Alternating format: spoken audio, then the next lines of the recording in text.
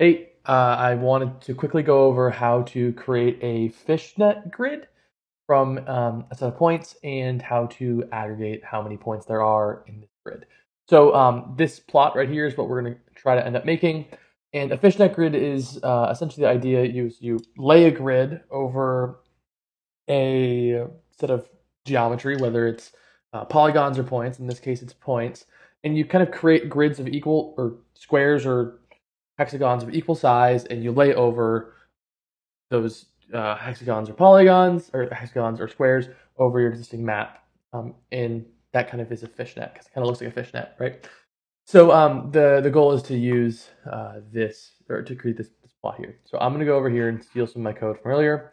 There's this um, repository for crime mapping. Uh, I'll put it in the description below and it has some eh, data included in the GitHub repository.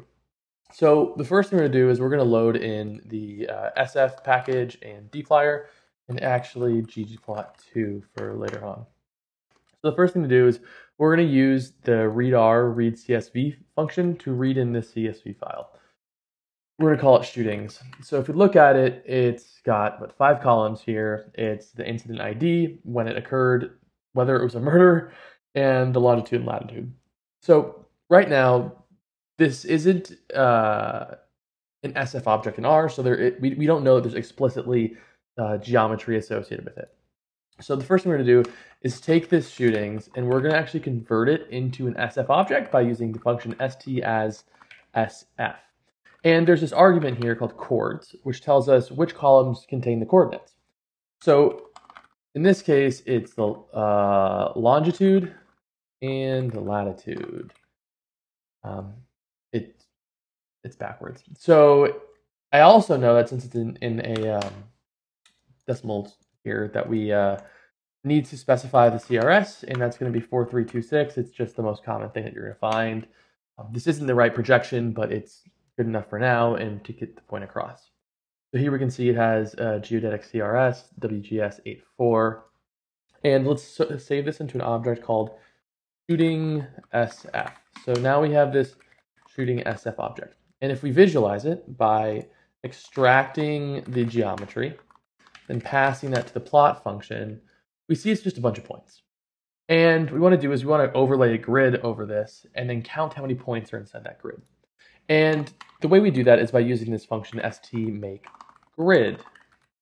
It comes from the package SF, and if we pass in a SF object, it'll create a grid over it by default. So let's see what that looks like for now.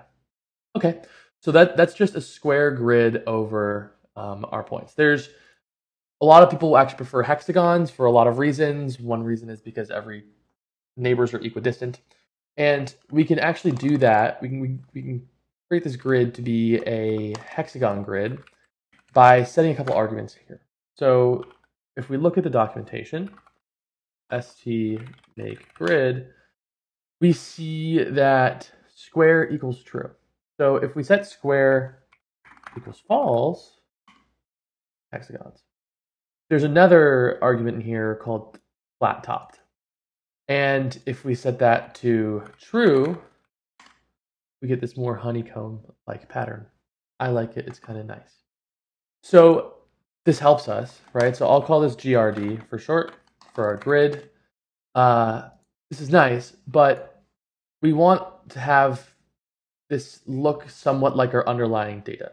So what we can do is actually plot our grid, then we'll plot our um, the geometry of the shooting SF, and I'm gonna make this color equals uh, blue.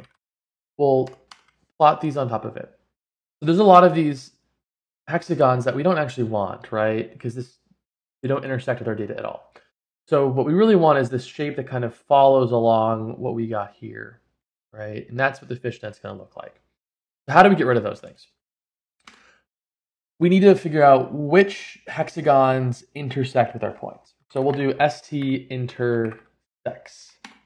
And the first argument is the GRD because we're interested in what intersects with the grid. Then we'll provide uh, our shooting SF object. And here, we see that we have this first element is empty, second, so on and so forth. Now, if we look at our grid, we have 136 features, and we know that this is a sparse geometry predicate list of length 136. What that really means is for each element of this list, if there are any intersecting neighbors or intersecting points, it'll tell us the row ID of those points in this table. So for we can see, for example, this number eight, it has an intersecting point uh, for the 249th observation of this SF object here. The other ones don't have anything that inter intersects, so it's going to be these ones over here. We want to get rid of those.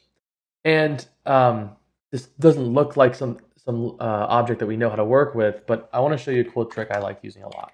If we pass it into unclass, it removes any special it removes any special um, classes that might be assigned to it, and we can see what the underlying object looks like. And here it's just a list. And each element here is an integer vector that has those indices. So what we can do actually is we can pass this to my secret favorite less known function called lengths. What this does is for a list, it tells us how long each subsequent element that list is. So we can see there's a lot of these that have zeros. We don't want any of those locations that have zero. We only want the ones that have one or more intersecting points. So we can um, pass that. Uh, well, what we can do is we can store this in an object and then figure out which ones, which elements have greater than zero uh, intersecting points, and we can subset our grid to that. So what I'm going to do is I'm going to clean this up a little bit by finding lengths. Okay, and then I'm going to actually turn this into a logical statement where I say which ones are greater than zero.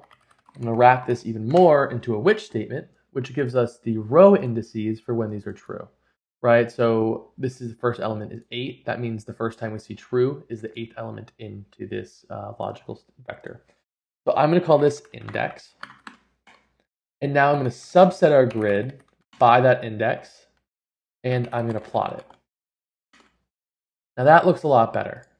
So I'm going to just put this below, and I'll call this green for the sake of this time.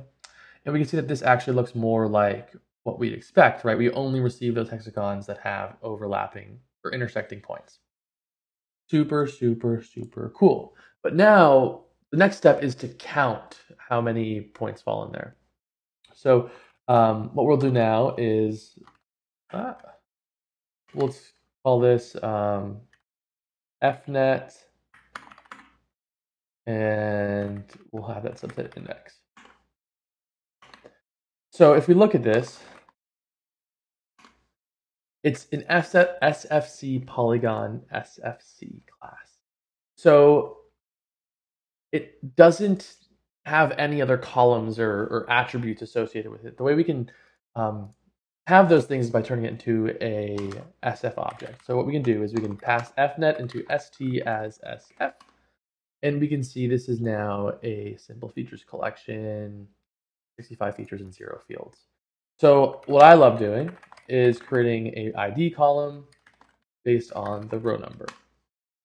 And um, that's lovely.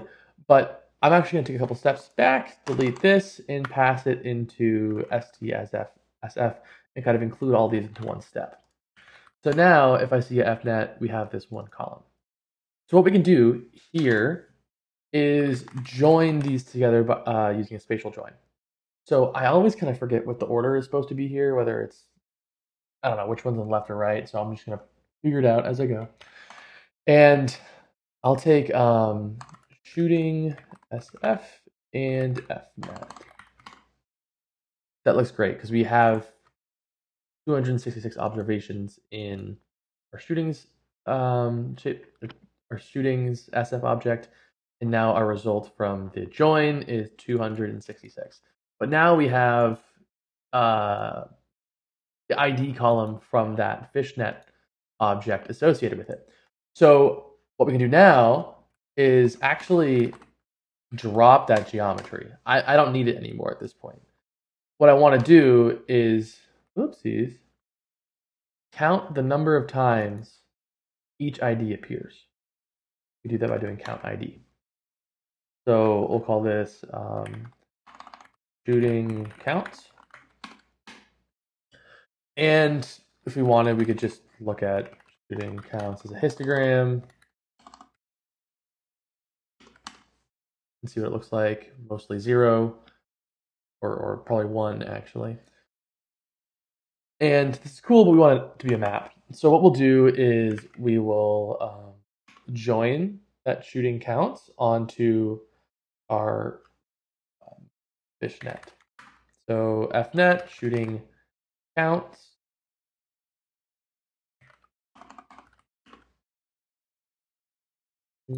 Count. And um, that's great. Let's call this fnet counts. And now we can begin to visualize it. fnet counts. Uh, ggplot, we want to find, we want to fill our, our polygons based on the n. So fill equals n. We want to add a SF layer. It's going to look bad. I the gray always kills me. So what I do every time is say color equals black. LWD for line width equals 0.15, and then we can do a theme W. That's looking better. But let's actually add some even fancier stuff. Let's do scale, fill, viridis, C for continuous. We do option equals C. Yeah, it looks pretty good to me. And then we can add a title. Title equals shootings in the Bronx. I think that's where it was. Here we go. That's that's lovely. So one other thing I want to do is go over writing a helper function to create that fishnet. And um, what we want to do essentially, if we're thinking about writing helper functions, we find out in our code that we wrote what is going to change and what's not going to change. So in our case, what's going to change is this input geometry. So let's make a function called make fishnet. Fishnet. It's a function. It takes one argument for now, which is a geometry. And then we're going to these things here, paste it inside. Oh. The grid all the way to the index. Clean that up inside of here. We don't need any plotting inside of a function. It's not our objective.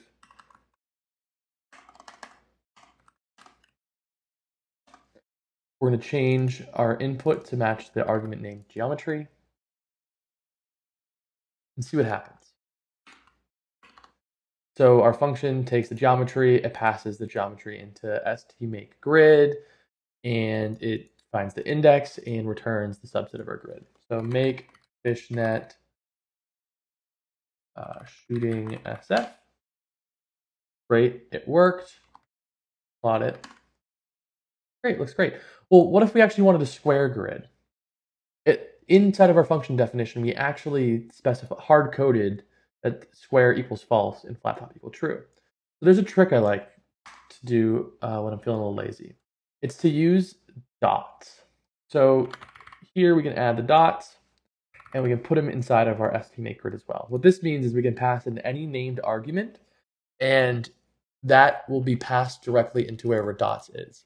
So we can provide using dots here, since they're being passed into stMakeGrid, any argument from st make grid besides x right here. Because we're providing the argument x by position, but everything else we can specify here. So let's say, um, actually, let's just leave it as is. So now by default, it uses a grid. And if we wanted it to be, or squares, if we wanted to use hex, we'd say square equals false, so on and so forth. So that's a super, super handy dandy function that you might like.